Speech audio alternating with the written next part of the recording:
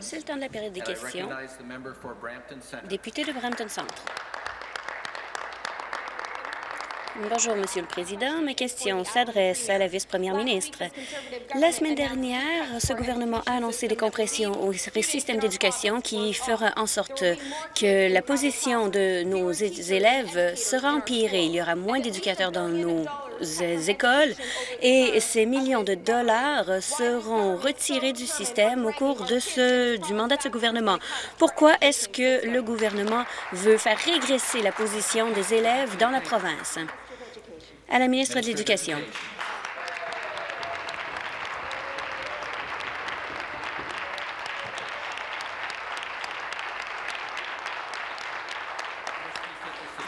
Que le député se rassoie. Merci. Merci, Monsieur le Président. Je suis très heureuse de prendre la parole pour parler de l'annonce que nous avons faite vendredi. Laissez-moi premièrement dire que j'aimerais féliciter le Centre des sciences de l'Ontario sur leur 50e anniversaire en sciences, technologies, innovation qu'ils enseignent à nos jeunes euh, la journée d'avant. Ils ont vu 7000 enfants passer leurs portes et ça a été une occasion excellente pour euh, présenter et faire notre annonce. Ce dont on parle ici, c'est de concepts que nous avons déposés qui fera progresser notre euh, système d'éducation vers l'avenir pour que les élèves fassent face non seulement aux défis d'aujourd'hui, mais aussi aux habiletés nécessaires pour demain, complémentaires. Merci. À la vice-première ministre de nouveau, je crois que nous savons que lorsqu'on augmente la taille des salles de classe, ce sont les étudiants qui en souffrent. Les élèves ne pourront pas avoir d'attention face à face avec les parents, avec les enseignants, pardon, ce qui affectera leur apprentissage. Et les enseignants devront continuer à essayer d'améliorer la qualité de leur éducation. Tout le monde est au courant de ce que devrait savoir le gouvernement. Des salles de classe euh, où il y a une surpopulation d'élèves, ça n'améliore pas la situation. Est-ce que le gouvernement retournera à la table pour essayer de trouver un plan qui servira les besoins de nos élèves? La ministre. Je vais vous dire ce que le gouvernement conservateur fera. Nous allons nous assurer que les élèves de cette province, d'un côté à l'autre, et la confiance, confiance qu'ils apprennent les concepts fondamentaux pour obtenir les emplois de demain. Au cours de la dernière décennie et demie, les élèves de l'Ontario ont été laissés à eux-mêmes. Les parents devaient se tourner vers des tuteurs pour aider avec les maths. Les parents devaient... Les enseignants devaient vraiment essayer d'aider leurs élèves parce que le gouvernement a échoué. Nous sommes ici côte à côte avec les parents. Nous voulons, pour avoir un système qui fonctionne non seulement pour les parents, mais pour les élèves et les enseignants, nous avons hâte de travailler avec nos partenaires de l'éducation et nos conseils scolaires parce qu'en fin de compte, le facteur qui détermine la réussite d'un élève, c'est l'efficacité des enseignants et du système. Complémentaire final. Merci à la ministre. Je crois qu'on sait très bien que de mettre plus d'enfants dans une salle de classe, ça n'aide personne. De se débarrasser d'enseignants et d'avoir jusqu'à 40 élèves par salle de classe n'aidera pas les élèves à réussir en retirant le temps personnel avec les enfants. Le gouvernement fait en sorte que l'avenir ne sera pas si brillant pour plusieurs enfants. Est-ce que le gouvernement renversera sa décision, diminuera les, salles, tailles dans les salles de, classe et, et euh, s'assurera de conserver tous ces enseignants? La ministre. Merci, Monsieur le Président. Il faut que ce soit dit. Je rejette entièrement le fond de cette question. Honte à la députée de l'autre côté. Elle sème la peur. Laissez-moi être clair. Il n'y aura pas de perte d'emploi involontaire sous notre gouvernement. Nous sommes côte à côte avec nos enseignants et nous sommes positifs sur le fait que les parents comprennent et que les élèves comprennent que les investissements que l'on fait dans le système d'éducation de l'Ontario afin d'assurer que nos élèves soient prêts. Le gouvernement précédent n'a absolument rien fait pour aider à mettre en place des idéologies euh, qui ont échoué auprès de nos enfants. Nous remettons l'Ontario sur la bonne voie et nous avons un plan qui a bien été reçu et j'ai hâte de euh, parler du travail que nous faisons avec les acteurs du milieu dans, les prochaines questions. Merci. Député des sexes, merci. À la vice-première ministre, nous avons entendu dire que Global News a reçu une lettre troublante écrite par le député de Lanark Frontenac Kingston qui dit qu'il a été rejeté du groupe parlementaire du gouvernement comme étant une revanche parce qu'il a essayé de dénoncer ce qui s'y passait. Ça soulève des inquiétudes de lobbyisme qui ont été faits par des amis près du premier ministre. À la vice-première ministre, quel lobbyisme illégal et non agréé a été fait auprès de ce gouvernement?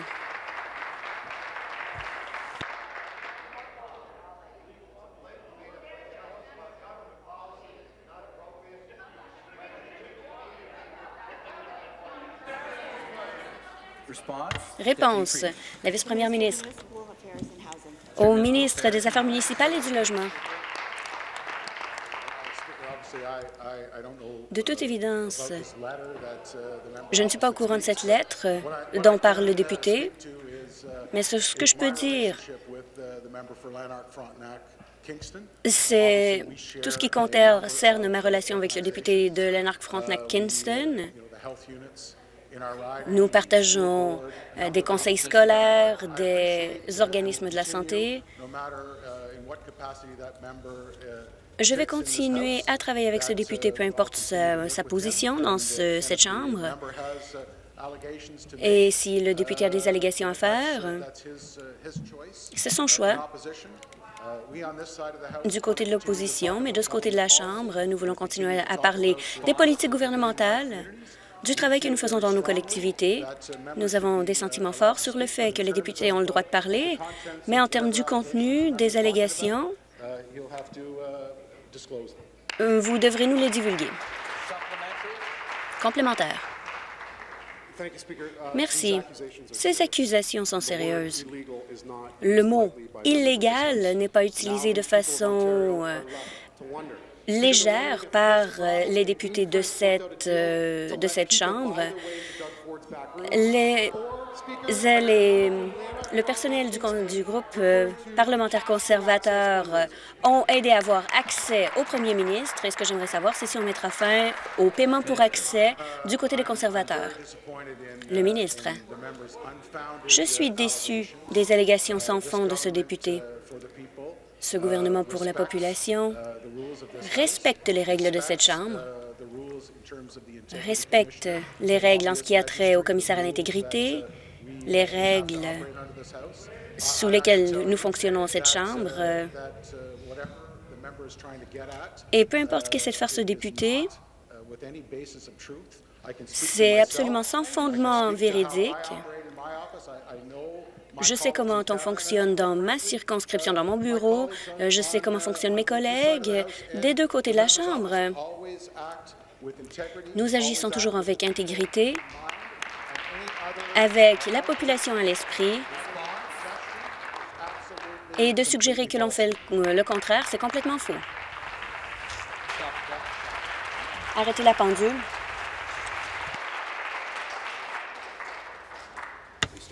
Redémarrer la pendule. Complémentaire final. Monsieur le Président, on met de l'argent dans les poches des gens pour avoir accès il semble qu'il y ait eu une réunion du Conseil des ministres d'urgence ce matin même afin que le Conseil des ministres puisse avoir de raconter la même histoire. Est-ce qu'on a une est-ce qu'on s'est mis d'accord sur une histoire euh, sur euh, le paiement pour accès ou autre?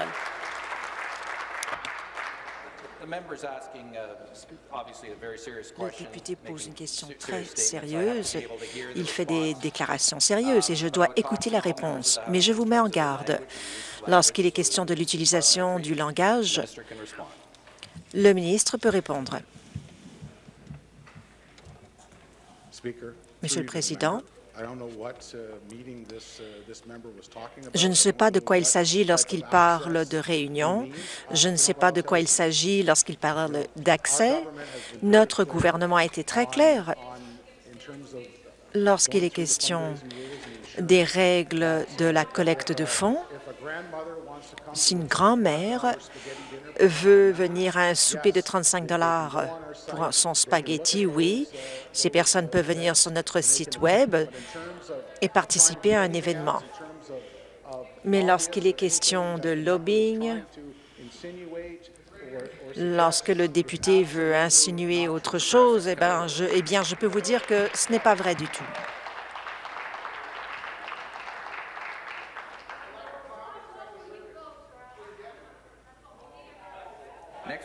Prochaine question, député de Davenport. Merci, Monsieur le Président.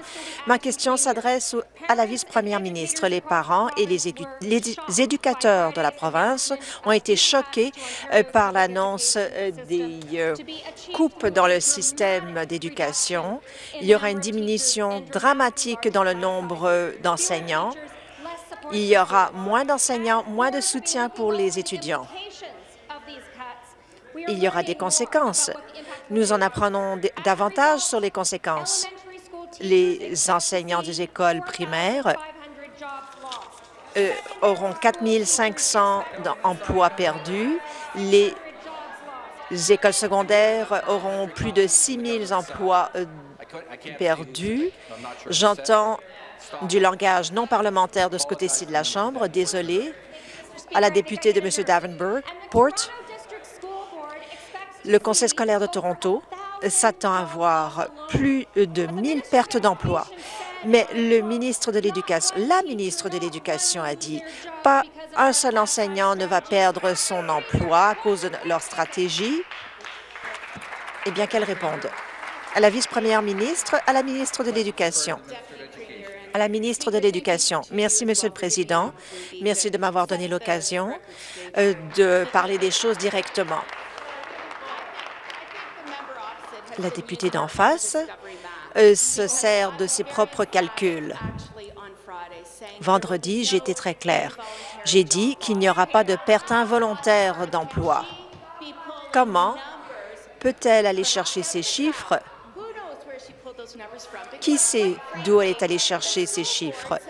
Les conseils scolaires et mon ministère travailleront ensemble dans les mois à venir car nous devons évaluer le nombre de retraites, le nombre de démissions et le nombre de redéploiements dans tout ce calcul. Alors, je dirais à la députée d'en face, arrêtez euh, de faire une campagne de peur et plutôt vous devriez célébrer le, le nouveau système d'éducation que nous mettons sur la bonne voie. Arrêtez le chronomètre. À l'ordre. À l'ordre. Reprenez le chronomètre, député de, Davenport. Je vais vous dire où je suis allé chercher ces chiffres. J'ai reçu une note de service. Craig Snyder, il vient du Conseil scolaire de Toronto. Merci beaucoup. Il affirme, et ça c'est dans le Conseil scolaire de Toronto, il y aura de nombreuses, nombreuses pertes d'emplois. Seulement dans ce conseil scolaire de Toronto, des centaines, il y aura 82 autres enseignants qui vont perdre leurs emplois. Nous connaissons les conséquences. Si la ministre veut faire valoir que lorsque quelqu'un prend sa retraite, vous ne comblez pas son poste, ce n'est pas un, une perte d'emploi, dites-le aux élèves, dites-le aux enseignants ces enseignants qui vont avoir 40 élèves. Est-ce que la vice-première ministre croit vraiment que l'Ontario a donné au gouvernement un mandat euh, d'équilibrer le budget sur le dos de nos enfants?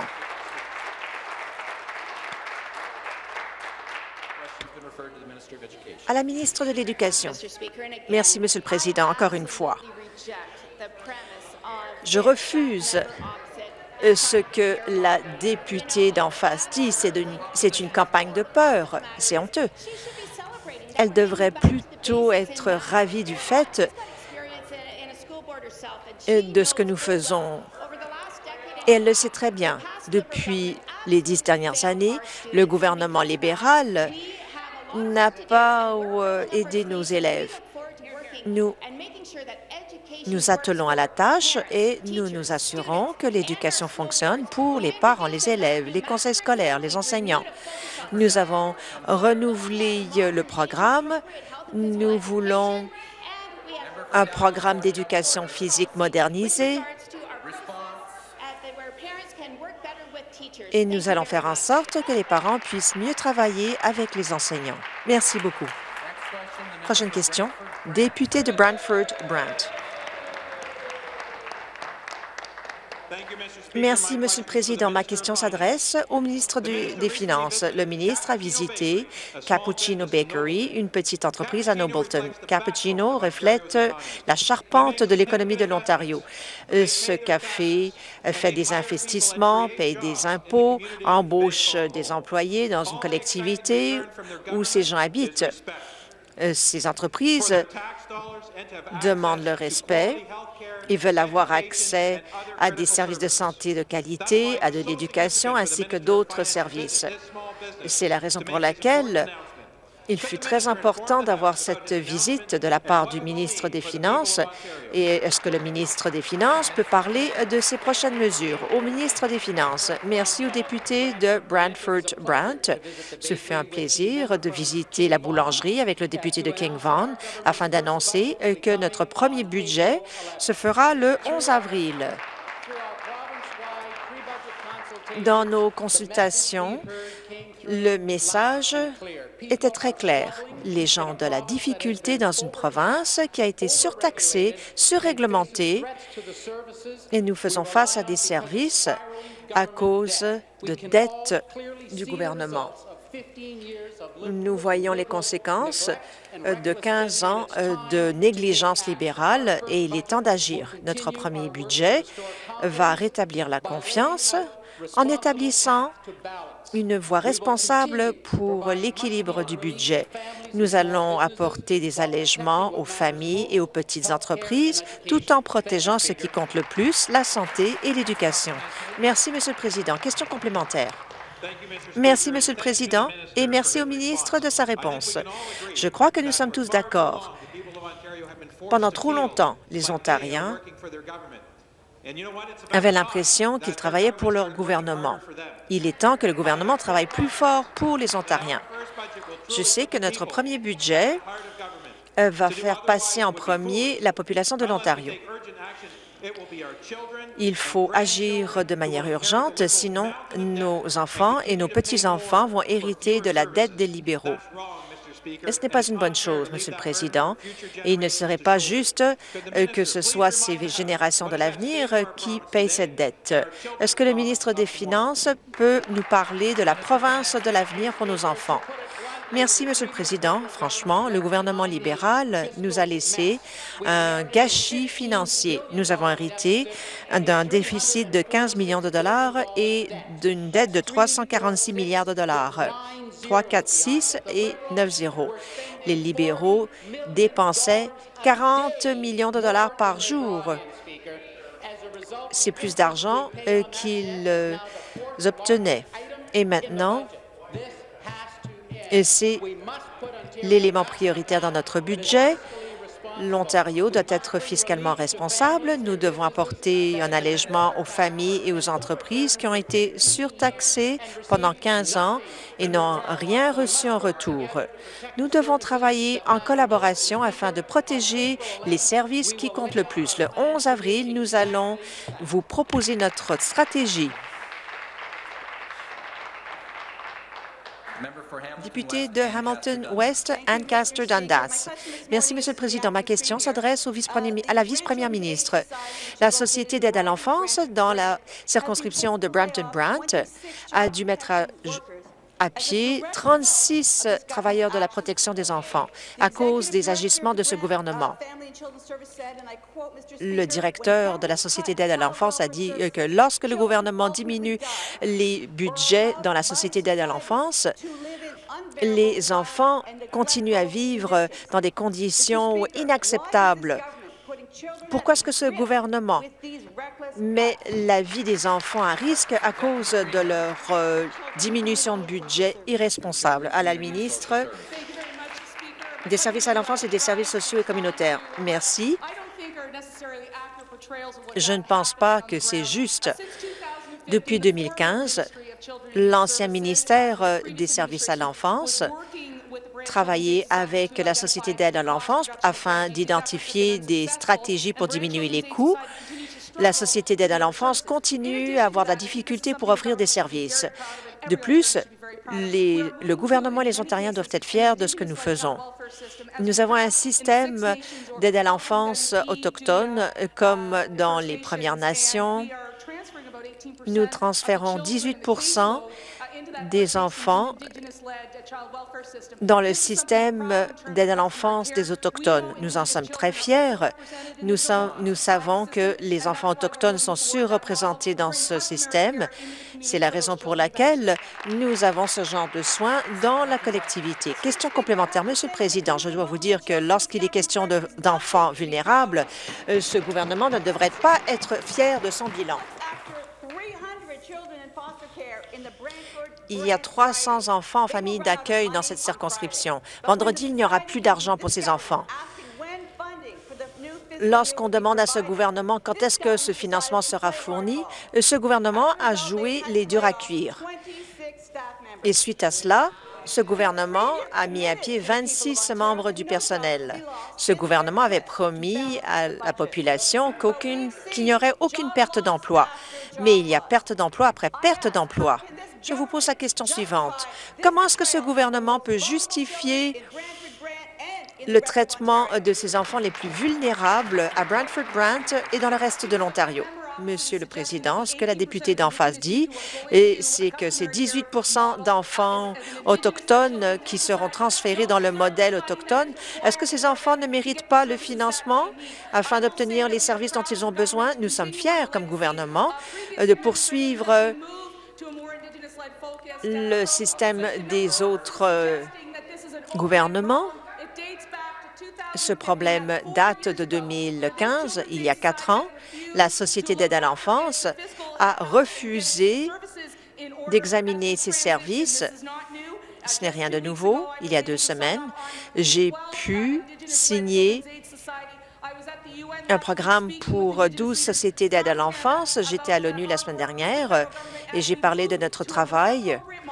Nous allons avoir un modèle plus approprié pour les enfants autochtones et j'espère que cela se fera dans le reste du Canada. À l'ordre. Prochaine question, député de Carleton. Merci, Monsieur le Président. Monsieur le Président, ma question s'adresse à la procureure générale. Monsieur le Président, de ce côté-ci de la Chambre, nous avons beaucoup de respect pour euh, le secteur de la construction. C'est une industrie euh, qui est euh, vraiment très importante pour l'Ontario. Dans ma circonscription, nous avons les plus grands créateurs d'emplois, y compris Marathon Drilling, Osgood Sand and Gravel et Kavanaugh Construction. La nouvelle loi sur la construction va mettre en vigueur un système qui fera en sorte que les travailleurs de la construction soient payés à temps pour leur travail et le processus sera plus rapide et plus facile. Est-ce que la procureure générale peut nous parler de la façon dont notre gouvernement va nous apporter transparence, certitude dans l'industrie de la construction? À l'ordre à la procureure générale. Merci, Monsieur le Président. Merci à la députée de Carleton de sa question. Monsieur le Président, notre gouvernement va toujours défendre ceux qui travaillent dans l'industrie de la construction. Nous travaillons très fort euh, pour euh, avoir le cadre euh, qui va solidifier le secteur. Les paiements rapides vont apporter une certitude et ces travailleurs seront quand ils seront payés. Dans d'autres secteurs, on le prend pour acquis. Notre nouvelle loi va expédier le processus et on va empêcher les délais sur les projets de construction. Notre gouvernement travaille fort pour mettre en vigueur ces outils le 1er octobre. Nous avons hâte d'offrir ce cadre dans ce secteur essentiel de l'économie. Question complémentaire. Merci, Monsieur le Président. Et merci à la procureure générale d'avoir défendu une partie importante de l'économie. Elle fait en sorte que l'industrie de, la construction à Carlton et dans le reste de l'Ontario vont avoir une certitude et une transparence. Monsieur le Président, mes commettants Carlton savent que ce gouvernement va tenir sa promesse il sera plus facile et plus abordable pour que les entreprises puissent s'épanouir. Ces entreprises s'attendent à ce que ce gouvernement tienne ses promesses. Est-ce que la procureure générale euh, est-ce que la procureure générale pourra nous parler de la façon dont ce nouveau cadre de réglementation sera mis en œuvre euh, pour que l'industrie de la construction puisse être protégée? À la procureure générale. Merci, Monsieur le Président. Les femmes et les hommes qui travaillent dans le secteur de la construction étaient très clairs. Ces personnes veulent ce système en place à temps, ce qui signifie le 1er octobre cette année. Il y aura la désignation de l'instance de, réglementation qui va protéger ce cadre. La semaine dernière, notre gouvernement a émis la soumission pour ce comité et nous avons hâte d'avoir les demandes dans l'industrie de la construction. Notre gouvernement a élaboré un processus de sélection juste et transparent qui va évaluer la qualité, l'expérience et les connaissances des personnes qui font des demandes et nous allons faire en sorte de sélectionner les personnes les plus qualifiées pour ce travail. Les travailleurs de la construction et l'industrie de la construction comptent sur nous. Nous prenons cette responsabilité au sérieux. Nous avons hâte de travailler et de communiquer avec nos partenaires dans l'industrie de la construction sur ces projets importants. Merci. Prochaine question, député de Hamilton Mountain. Merci, Monsieur le Président. Ma question s'adresse à la vice-première ministre. En Ontario, il en prend des décennies, des décennies pour aider les enfants atteints d'autisme. Et pourtant, nous avons une pénurie de travailleurs pour offrir ces traitements. À cause de ce programme catastrophique, il y a des, des personnes qui sont mises à pied à Kitchener, il y a eu neuf personnes qui ont été mises à pied. Pourquoi est-ce que la vice-première ministre insiste sur une stratégie qui cause des mises à pied alors que nous avons besoin de plus de thérapeutes et plus d'aide? À la vice-première ministre. À la ministre des Services à l'enfance et des services sociaux et communautaires. Merci beaucoup, Monsieur le Président. Merci de m'avoir donné l'occasion de prendre la parole. Nous avons un modèle de financement direct pour les parents. Cela leur donne l'occasion d'obtenir les services dont ils ont besoin. Euh, ces mises à pied sont un peu trop précoces. Notre stratégie signifie qu'il y aura quatre fois plus d'enfants qui pourront avoir accès à des services. Et donc, je crois que chaque enfant mérite un soutien. Les organismes qui offrent du soutien doivent continuer à offrir ce soutien. Amy Fee, mon adjointe parlementaire et moi, nous continuons à écouter les parents. Le 1er avril, nous allons pouvoir autonomiser les parents directement. Les 23 000 enfants qui sont sur une liste d'attente seront libérés pour la première fois en Ontario cette semaine. Question complémentaire. Monsieur le Président, ce gouvernement prétend donner un choix aux parents. Mais quels seront ces choix? Premièrement, le gouvernement ne va pas offrir de financement en se basant sur des preuves. Maintenant, cette pénurie de thérapeutes va empirer la situation. ceux qui vont pouvoir se permettre euh, des traitements vont être euh, coincés dans ces listes d'attente. Après euh, que le gouvernement ait détruit ce système, il en prendra encore d'autres décennies pour euh, régler la situation. Est-ce que ces conséquences inattendues sont basées sur euh, une stratégie mal conçue? La, la différence entre ce gouvernement et ce parti, c'est que nous défendons les enfants et pas eux. Nous avons des centaines, nous avons travaillé avec des centaines de familles nous continuons à communiquer avec les familles afin d'améliorer leur expérience, car il y a des parents qui font face à un diagnostic d'autisme. Nous avons un investissement de 321 millions de dollars. Nous doublons notre investissement dans le diagnostic. Nous allons libérer cette liste d'attente au cours des 18 mois. Notre priorité, c'est que ces familles obtiennent les services dont elles ont besoin. Au lieu de cela, le parti d'en face euh, veut se rendre dans d'autres industries Moi, ma priorité, c'est de libérer ces enfants de la liste d'attente. C'est ce que va accomplir ce gouvernement.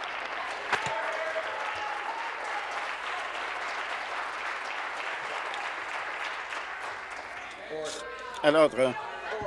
À l'ordre. Opposition à l'ordre.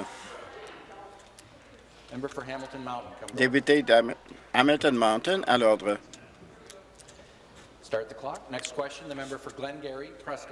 Député de Glengarry, Prescott Russell, merci.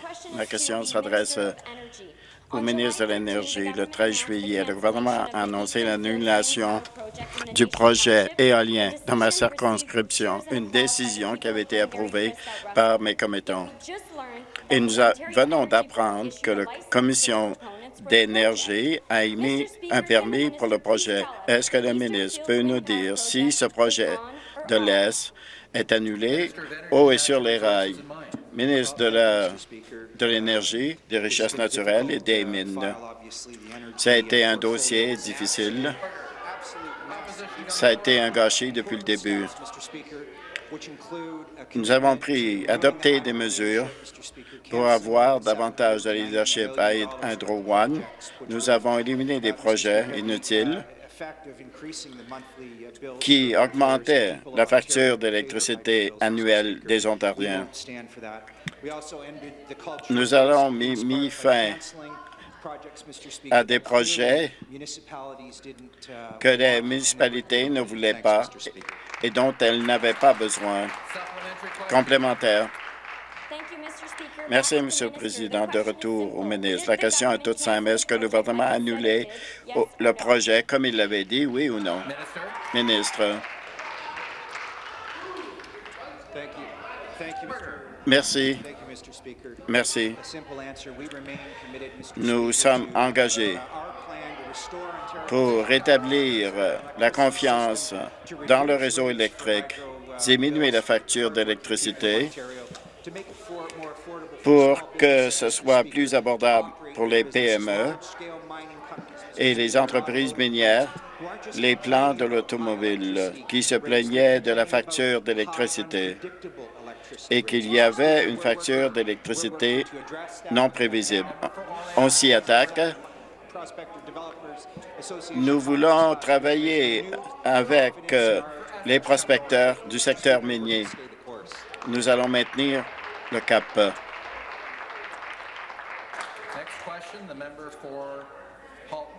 Député de Halton.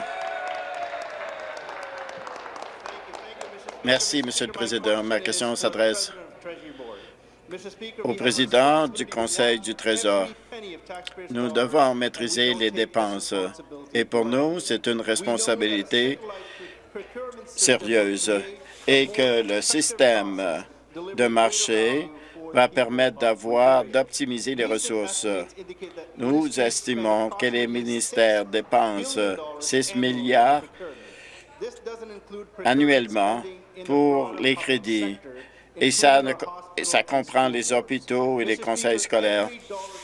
Les deniers publics dépensés de façon inefficace sont une perte. Est-ce que le président du Conseil du Trésor peut-il informer la Chambre pourquoi est-ce que nous revoyons le système de marché? Réponse. Président du Conseil du Trésor. Merci. Merci au député de Milton. Nous avons revu le système de marché. Nous avons revu le système poste par poste, alors que le gouvernement antérieur payait plus pour moins. Nous, c'est différent. Nous avons un nouveau concept. Nous voulons avoir plus et payer moins et que le service public et le secteur parapublic correspondent correspond à 29 milliards de dollars par année. Nous voulons trouver des économies à la hauteur d'un milliard. Nous voulons faciliter le travail pour les entreprises, diminuer les formalités administratives et créer des emplois en Ontario. C'est un nouveau millénaire depuis 20 ans et le système de marché doit s'adapter à... Député de Milton, complémentaire. Le gouvernement pour la population a TLU pour rétablir la confiance et la responsabilisation. Il faut se rappeler que les deniers dépensés, ce sont vos deniers et devraient être utilisés de façon euh, responsable et non pas gaspillés par des projets. C'est la situation dans laquelle nous sommes. La population de l'Ontario avait un déficit de 15 milliards de dollars et les marchés sont une partie importante des dépenses du gouvernement. Nous voulons nous assurer que cela est fait de façon efficace. Je demande au ministre des services aux gouvernementaux qu'est-ce qu'il va trouver comme euh, efficacité dans la fonction publique pour avoir un nouveau système de marché?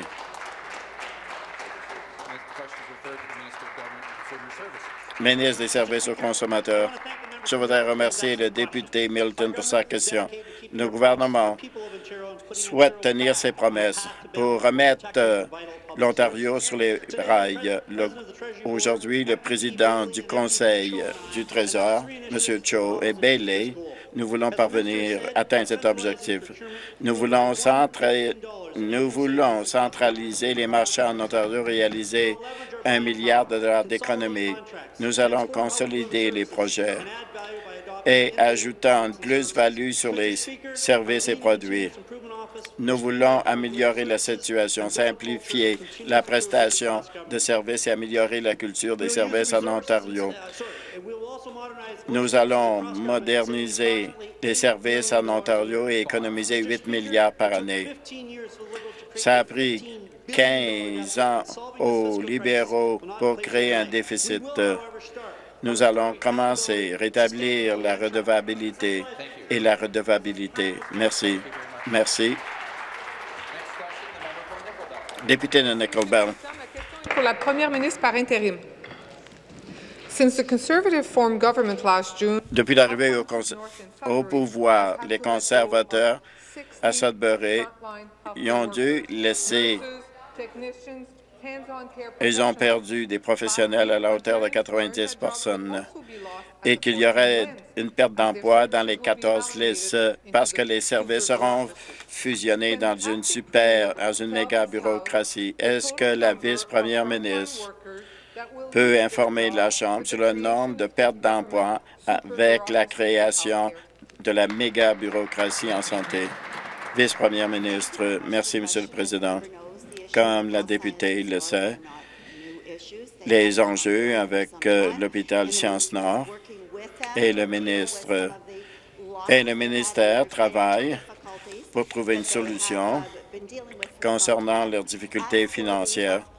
Concernant le plan de la santé annoncé, nous voulons moderniser les soins de santé en Ontario pour connecter les gens avec les services, pour recevoir la meilleure qualité de soins dans les hôpitaux, dans les centres de soins de longue durée et les soins à la maison.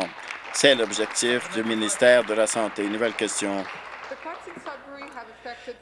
Cela a affecté les services de première ligne en Ontario, moins d'accès, réduction de programmes qui ont besoin des fauteuils roulants. Tout cela existait, mais là, le gouvernement a moins d'accès, moins de services. Qu'est-ce qui va se passer avec les joyaux de la couronne? Une fois que le méga organisme sera en place, comme le don pour la santé? Est-ce qu'ils vont diminuer les accès et le nombre d'heures? Quel engagement la ministre peut donner aujourd'hui aux travailleurs de la santé? Quel engagement peut-elle prendre envers la dotation personnelle? Vice-première ministre, concernant euh, hôpital Sciences-Nord, Ontario, et nous continuerons d'avoir des services de mammographie et les patients sont venus pour recevoir des services d'IRM et de biopsie et autres, et ces services seront maintenus. Concernant le plan pour l'Ontario, l'objectif, comme je l'ai dit, c'est renforcer le réseau de la santé publique pour s'assurer que les patients reçoivent des services connectés qu'ils ne reçoivent pas maintenant. Les patients, parfois, reçoivent leur congé de l'hôpital et se retrouvent à l'hôpital. L'objectif de cet exercice, c'est de s'assurer que les gens sont reliés avec les prestataires de la santé et aient accès à des services que, dans le cadre à l'ordre. Prochaine question, député de Burlington. Merci. Ma question s'adresse à la ministre des Services.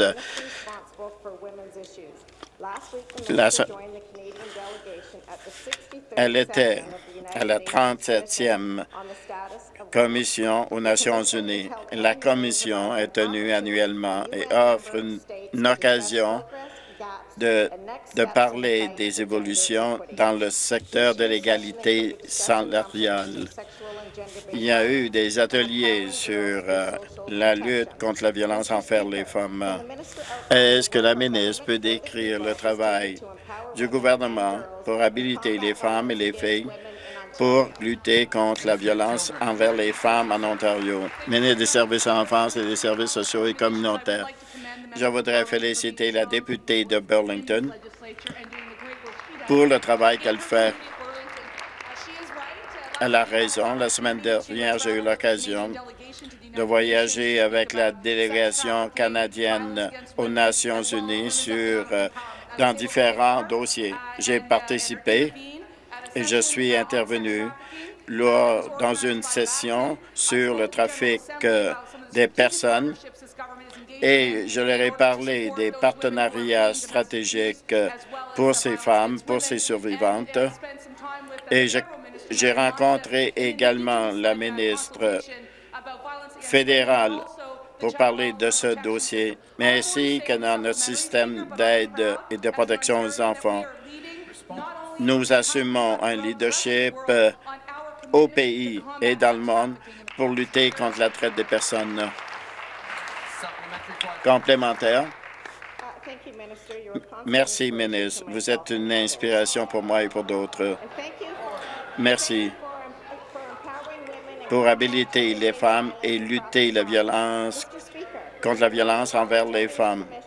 Vous étiez à la commission. Le ministre a eu l'occasion de rencontrer plusieurs personnes dans le secteur de la traite des personnes et l'Ontario représente deux tiers des cas de traite des personnes chaque année. C'est troublant.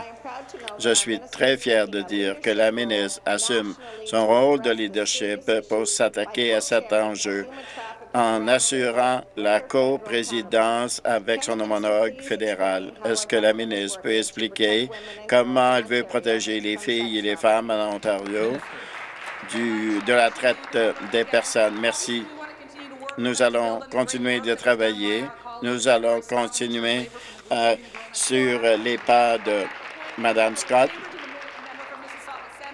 Voilà, j'ai demandé à la députée de Mississauga Centre et de travailler avec différents ministères pour s'assurer que nous voulons avoir une démarche interministérielle et nous allons tenir des consultations avec la ministre fédérale de la Santé. C'est un, un secret inavoué. Nous avons été clairs. Les femmes sont dévalorisées.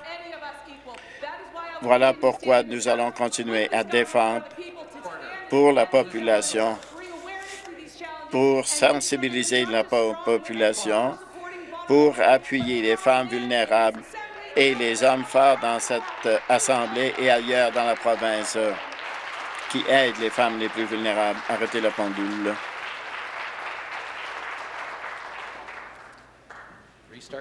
Redémarrer la pendule.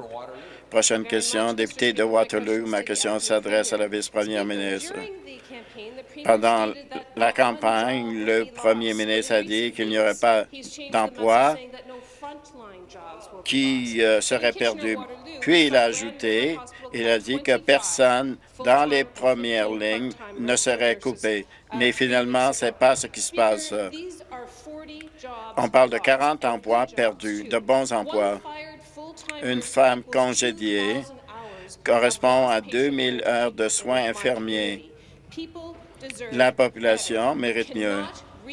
Vous ne pouvez pas reconstruire un réseau de la santé sans les infirmières en première ligne en Ontario.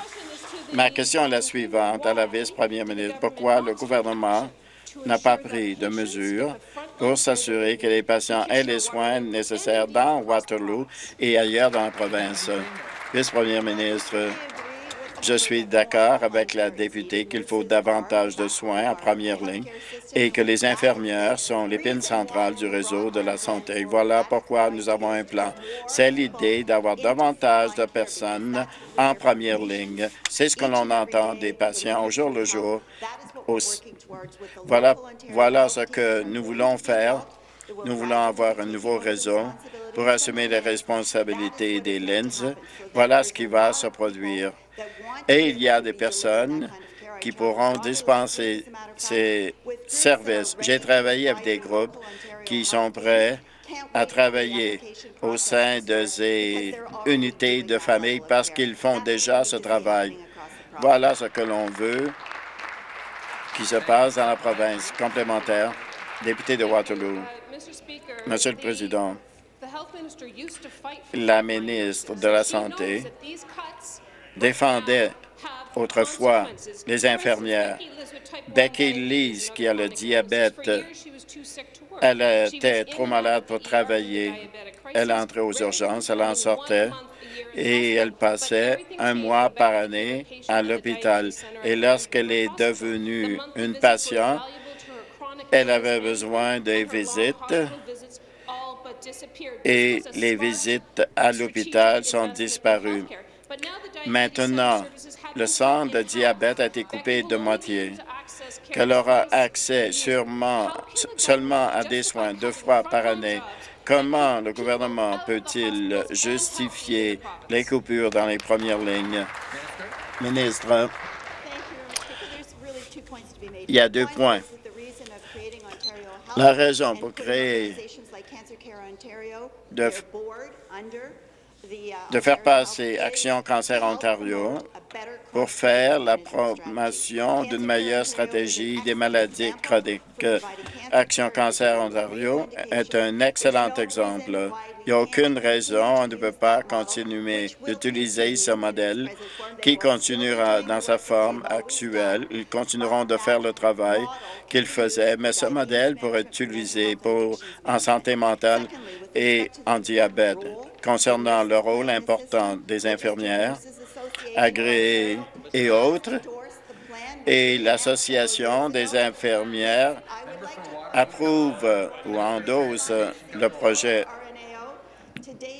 Aujourd'hui, l'annonce indique le, début des modifications et le rôle continu des infirmières agréées dans la coordination des services au secteur et pour mieux comprendre le système.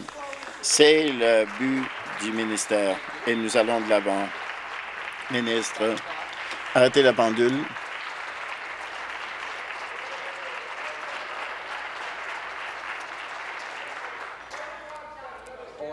À l'ordre. À l'ordre. À démarrer la pendule. Député de Kitchener-Conestoga. Merci, Monsieur le Président. Merci, Monsieur le Président. Ma question s'adresse au ministre des Finances. Le gouvernement a demandé au euh, fédéral d'accepter ce dossier et que les gens de l'Ontario voudraient être en mesure de faire des jeux sur les sports. Les gens de l'Ontario et au Canada devraient avoir l'option de gager au Super Bowl ou la Coupe Grey, par exemple. Étant donné la popularité des, euh, loteries de jeux uniques.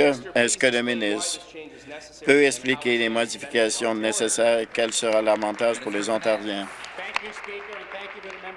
Le ministre des Finances. Merci au, député de Kitchener-Conestoga. La légalisation des paris sportifs pour des matchs uniques est une façon de, nous assurer de la concurrentialité de notre secteur de loterie. Huit États américains offrent déjà ce, ce service et huit autres États l'adopteront bientôt.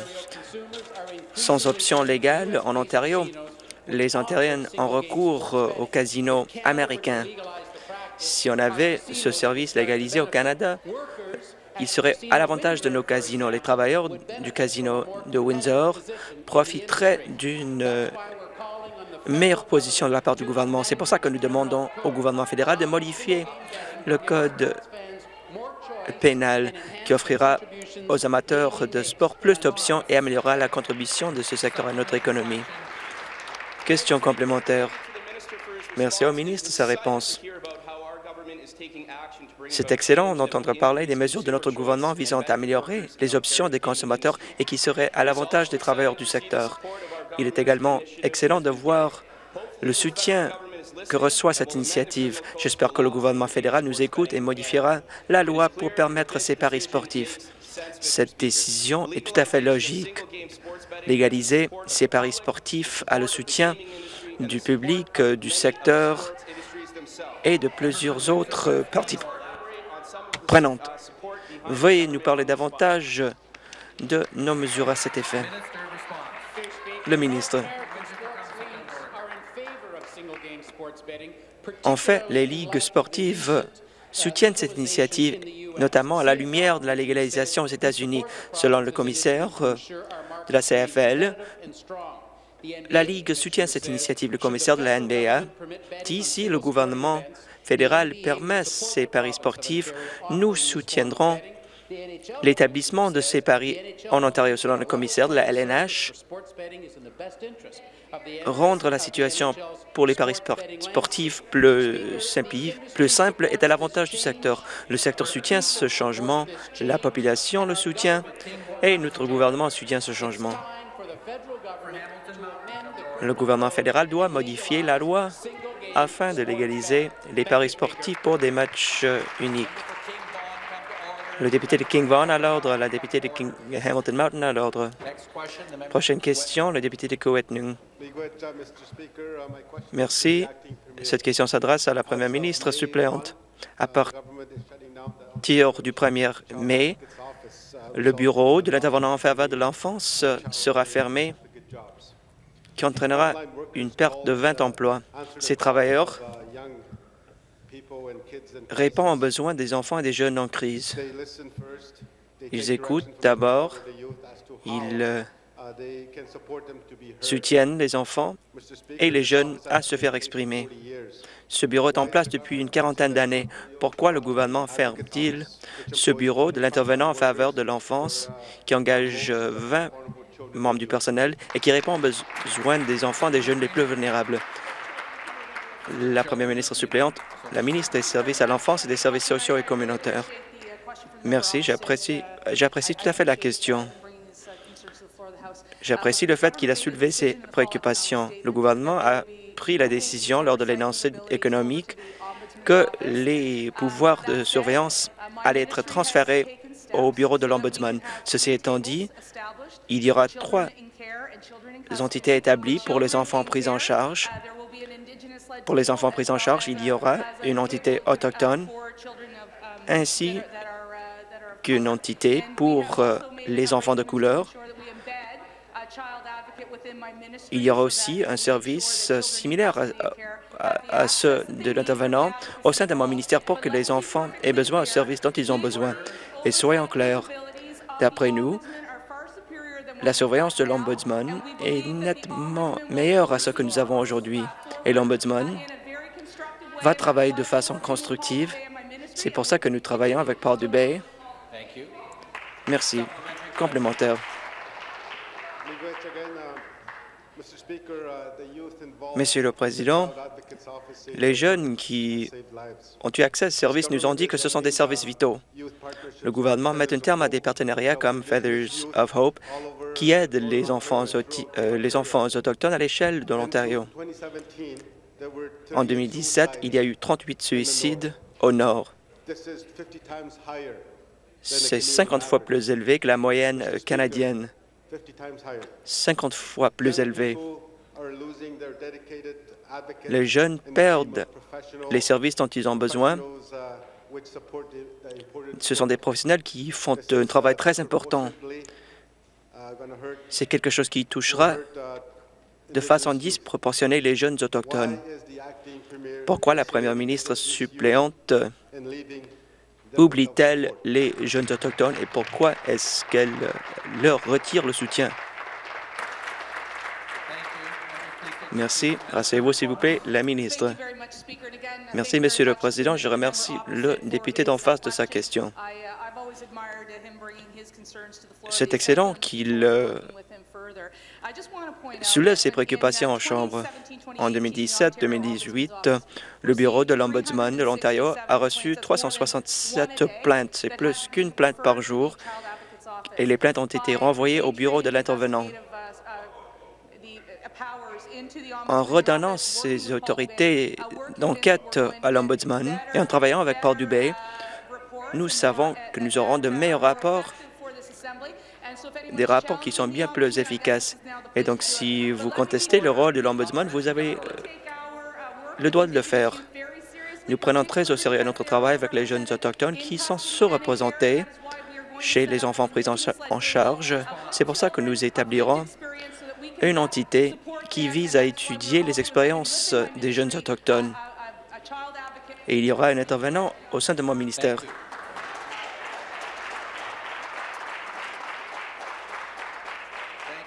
Merci.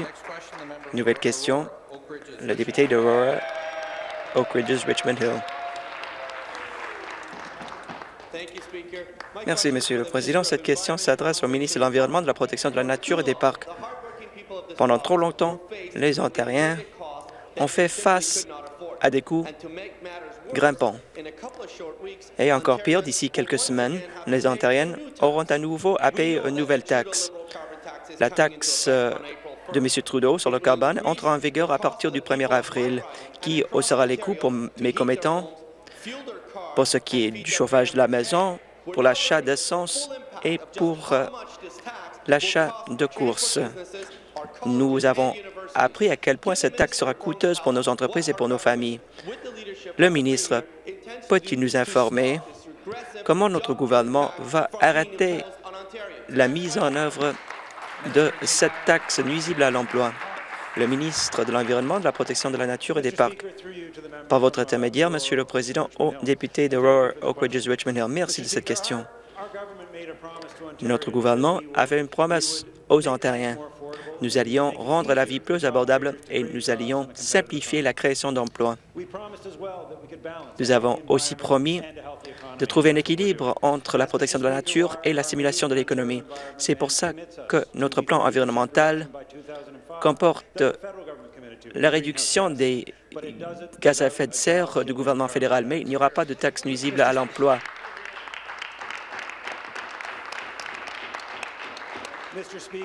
Monsieur le Président,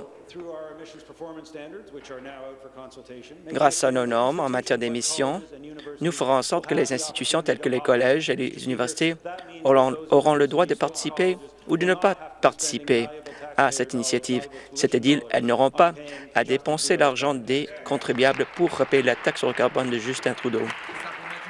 Question complémentaire. Merci. Je remercie le ministre de sa réponse.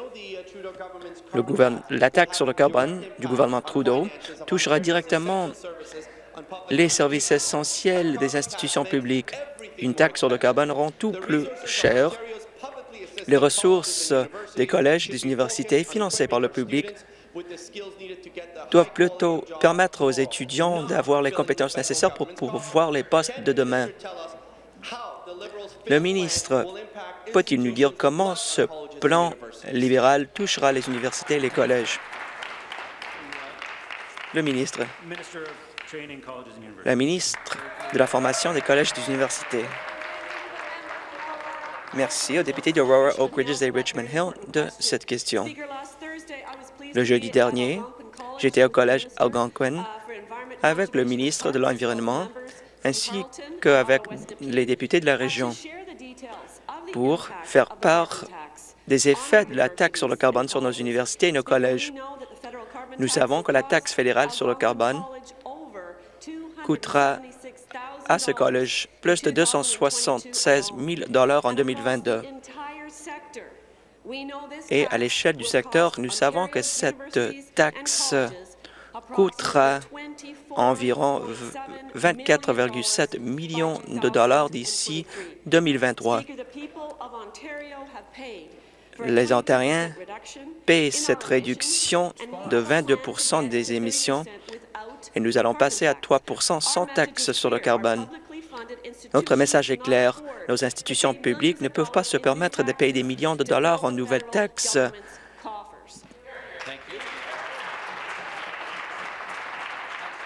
Nouvelle question, le député de Kingston-les-Îles. Merci, Monsieur le Président. Par votre intermédiaire, cette question s'adresse à la première ministre suppléante. Lors de la campagne électorale, le premier ministre a dit aux Ontariens à plusieurs reprises qu'il n'y aurait pas de perte d'emploi sous son gouvernement. Et en décembre, lorsque le gouvernement a, décidé d'éliminer le bureau du commissaire à l'environnement, on n'a pas entendu parler des pertes d'emploi, mais il s'est avéré qu'au moins cinq personnes seront virées en résultat des gestes de ce gouvernement pour ce qui est du, du bureau du commissaire à l'environnement. D'après la première ministre suppléante, ces emplois ne comptent-ils pas? Le ministre de l'Environnement, de la Protection de la Nature et des Parcs. Monsieur le Président, je m'inscris en faux contre la prémisse de la question du député. L'Ontario sera le seul gouvernement provincial avec une commissaire à l'environnement indépendant qui fera rapport par l'intermédiaire du bureau de vérificateur général. C'est juste comme au palais fédéral. Et pourquoi? Nous voulons faire en sorte que le commissaire à l'environnement se concentre sur les enjeux importants et ce service sera dispensé de façon plus efficace. Nous n'allons pas nous excuser d'être efficaces tout en protégeant l'environnement.